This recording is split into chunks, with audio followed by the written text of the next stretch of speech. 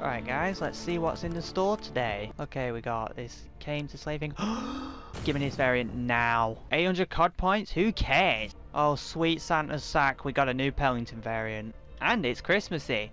Hey guys, it's Kyle again, and welcome back to Black Ops Cold War. In today's video, we're checking out the North Pole Christmassy Pelington variant. Believe it or not, they've added two variants into the game today, along with the Frozen Chosen Barrett variant. As usual, we're going to get into some gameplay, and then I'll show you guys a class towards the end of the video. By the way, a video on the Barrett will be coming right after this video, so enjoy the gameplay, guys.